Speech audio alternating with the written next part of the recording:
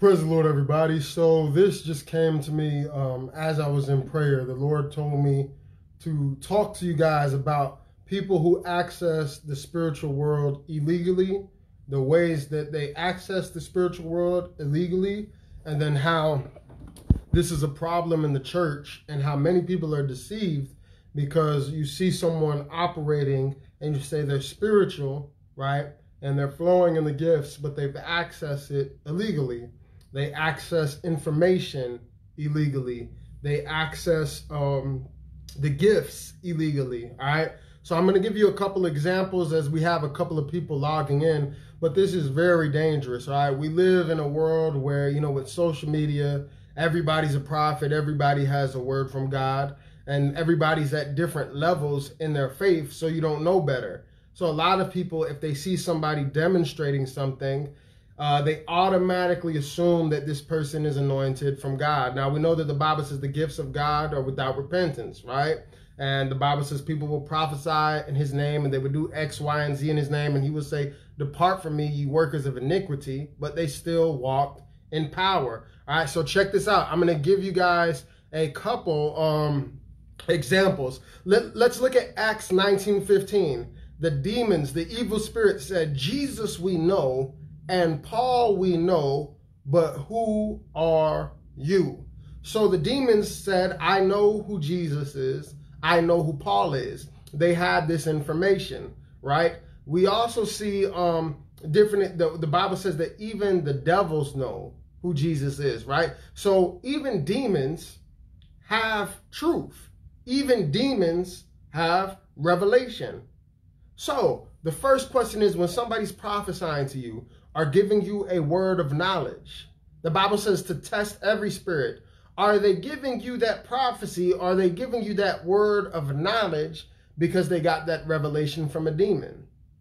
Just because somebody stands you up in church and reads your address and prophesies something to you that very well may be true, they might have accessed that information illegally and have put on a front to make it look like it's a God thing. And so what happens is the reason why this is important is because the devil always wraps a whole lie in a little bit of truth sometimes. That's how he'll deceive you.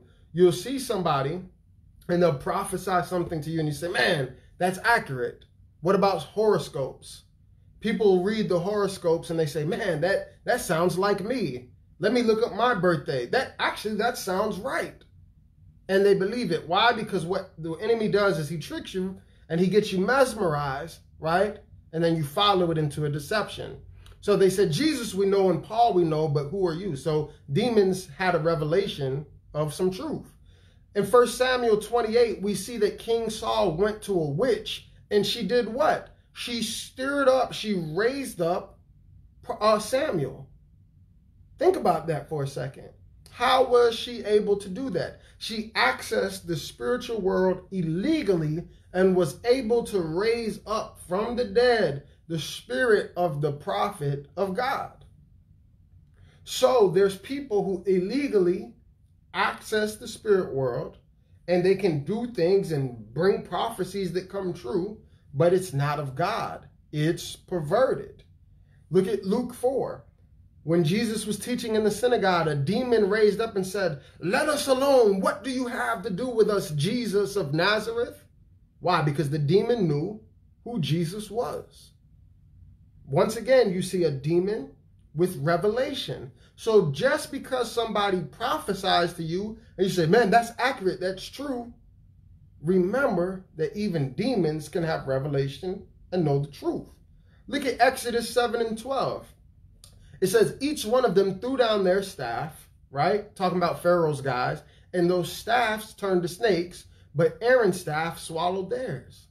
Somehow they were able to access a mimicking kind of power, right? Not the real power, but they accessed the spiritual world illegally and were able to do something that almost looked like the same thing that Aaron did. But Aaron's snake devoured theirs. So we see this all throughout the Bible. Why do we think it's different now? So one of the greatest deceptions that we have now is people who look anointed. They look like they're prophetic, but they're accessing the spiritual world through a spirit of Jezebel, through a spirit of manipulation, through a spirit of rebellion, through a spirit of witchcraft. So uh, even people who use drugs, people who people smoke weed and get high and see demons and stuff. It's not a joke. It's not oh oh they're high they didn't see nothing. No, they're accessing the spiritual world illegally through witchcraft, illegally, demonically. All right. There's people who smoke. There's people who drunk, and, and they say, "Man, I, I saw demons in the spirit," and it was true. There's people who who have, have smoked and got drunk and they'll prophesy or say something. They're they're accessing it illegally. This is why the Bible says what? Test every spirit. The spirit can camouflage itself and look like a, a preacher. And then a side note, most of these preachers out here, you can look on social media. If you're a preacher like me, you see a lot of stuff is plagiarized. They got it from somebody else.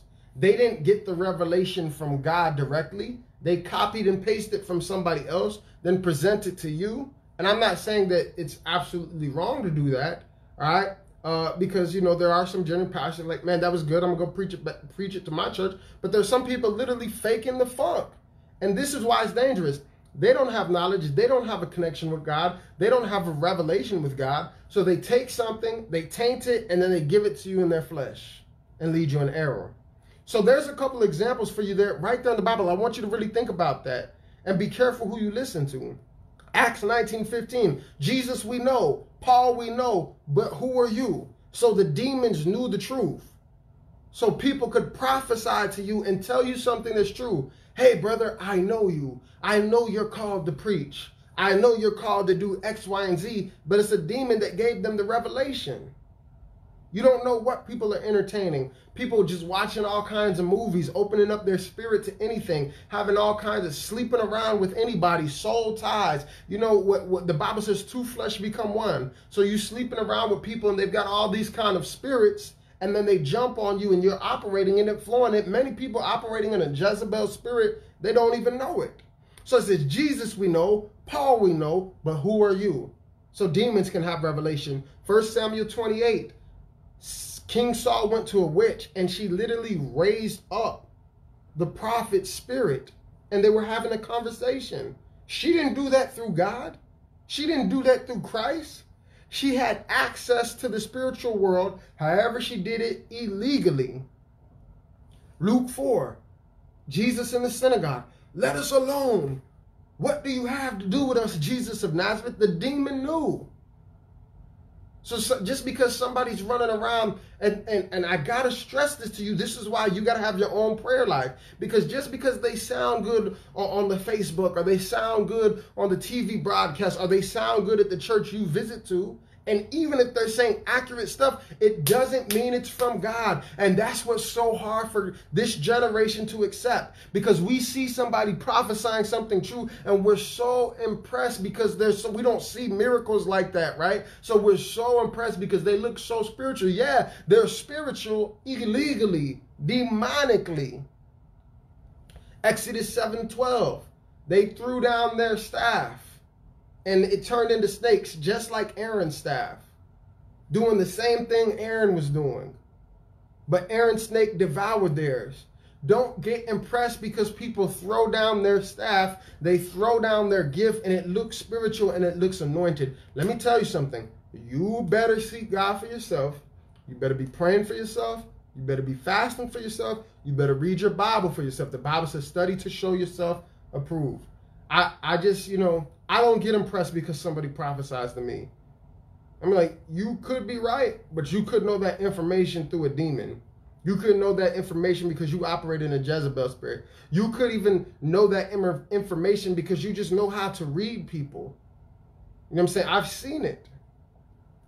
So that's why the Bible talks about doctrines of devils, right?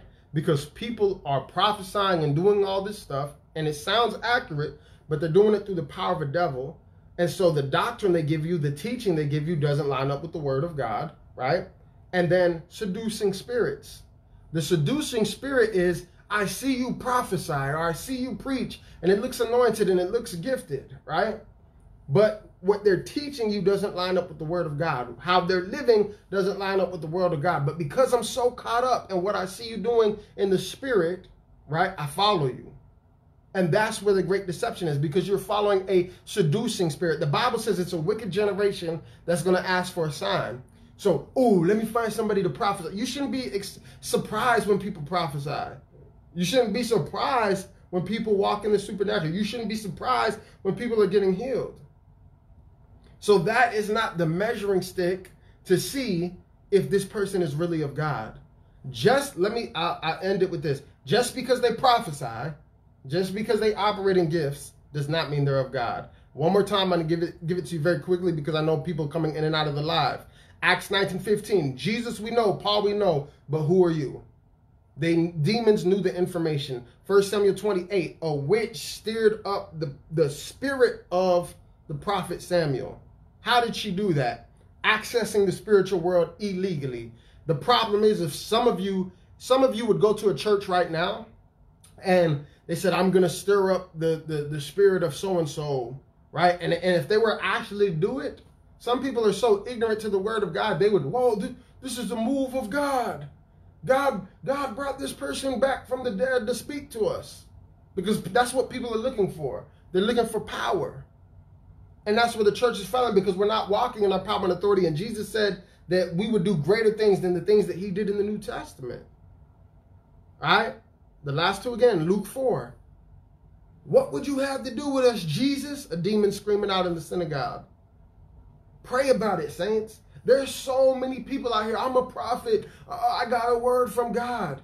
And you know what? It disgusts me. Because you know what? Real prophets, number one, they were not politically correct. Real prophets of the Bible were not popular. The children of Israel rejected them. They didn't like them. How is it that all of these people, we have so many prophets in America, but not many of them are talking about what's going on in the country? The prophets in the Bible talked about what was going on in the country. The prophets in the Bible talked about what was going on with the neighboring kingdoms. You can see, oh, God's going to bless you with a car, but you can't see anything real. God's going to bless you with a husband in, in six months. Blah, blah, blah, blah, blah. Where do you see that in the Bible? But we get so just infatuated with the gifts. Remember, the Bible says, I did this in your name and I did that in your name. Depart from me, you workers of iniquity. I never knew you. Just because they operate in some kind of spiritual dimension does not mean that they know God. Love you guys. Be blessed. Be encouraged in Jesus' name.